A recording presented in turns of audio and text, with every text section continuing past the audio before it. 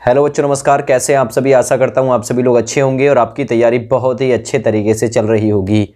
U P S I पचानवे सौ चौंतीस पोस्ट।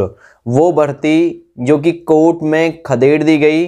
कोर्ट की जो तारीख है, वो लगातार उस पर चल रही हैं, लेकिन सुनवाई जो है, वो नहीं हो पा रही है। आज भी इस अहम केस की सुनवाई है।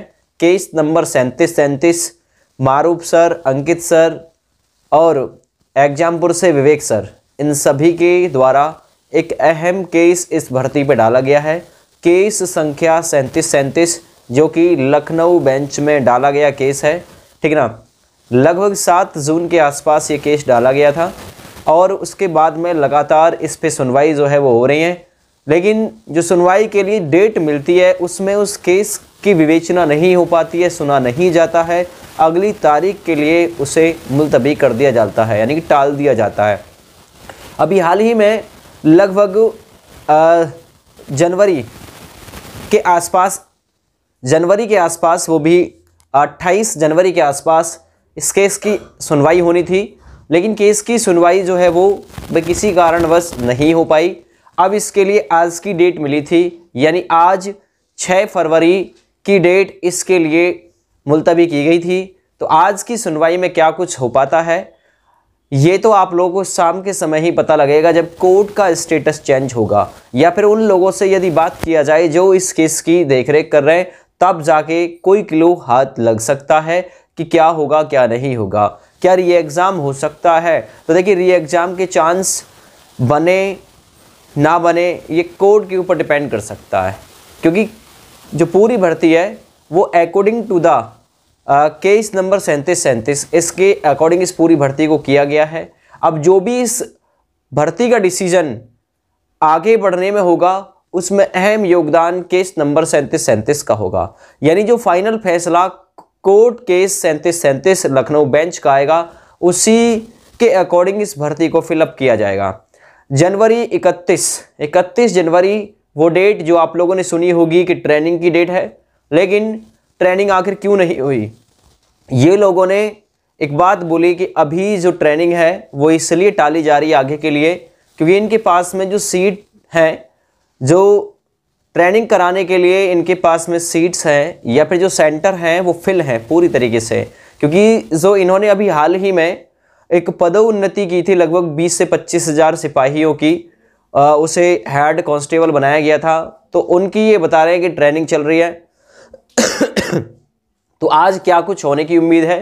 क्या न्याय मिल सकता है? जिस भर्ती में 170 से ज़्यादा कैंडिडेट पकड़े गए हों, उसे भी सरकार बिल्कुल निष्पक्ष और पारदर्शी बता रही है। लेखपाल की भर्ती, जिसमें 8000 पोस्ट और 15000 लोग संदिग्ध तो इससे स्पष्ट हो जाता है कि सरकार कहीं ना कहीं एग्ज़ाम को पूरी तरीके से सेफ़ तौर पे कराने में फिसड्डी किस्म की साबित हुई है।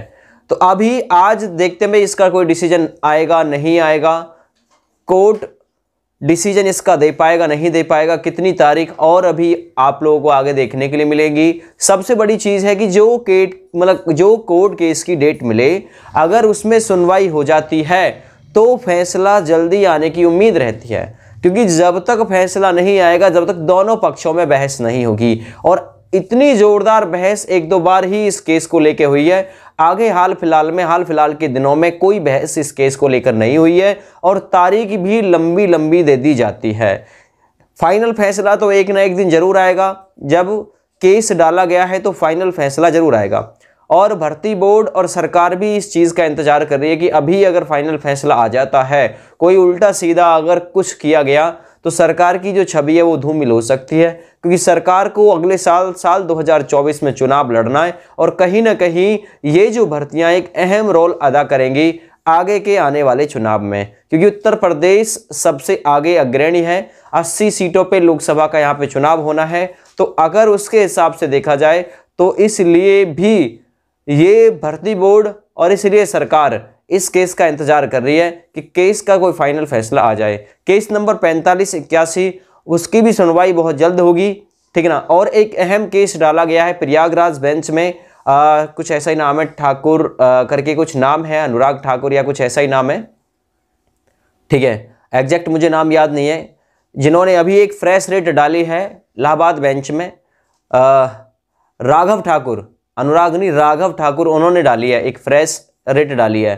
तो इसकी सुनवाई भी आप लोगों को देखने के लिए मिलेगी। तो इस भर्ती को पूरी तरीके से घेरा जा रहा है, क्योंकि इस भर्ती में 170 कैंडिडेट पकड़े गए हैं। तो आज क्या कुछ होगा, इसके बारे में आप लोगों को अपडेट करा देंगे। फ़िलहाल यही बताना था मुझे, जो सुबह की वीडियो में मैंने बताया था आप लोगों को, कि अभी कोई जो डेट है वो फिक्स नहीं हुई है, क्योंकि तब तक पता नहीं था। अब पता चला है कि आज एक अहम सुनवाई है तो क्या केस सुना जाएगा, नहीं सुना जाएगा ये आप लोगों को शाम तक हम बता देंगे या फिर अगली सुबह आप लोगों को हम इसके बारे में जानकारी पूरी तरीके से दे देंगे। तो फ़िलहाल आज की वीडियो में इतना ही रहेगा। जय हिंद, वंदे मातरम।